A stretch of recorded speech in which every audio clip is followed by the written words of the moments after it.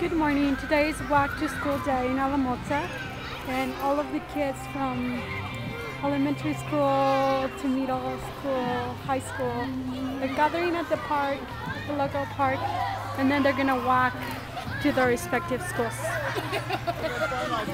See some parents, some kids waiting. Everyone excited? It's a little bit chilly out.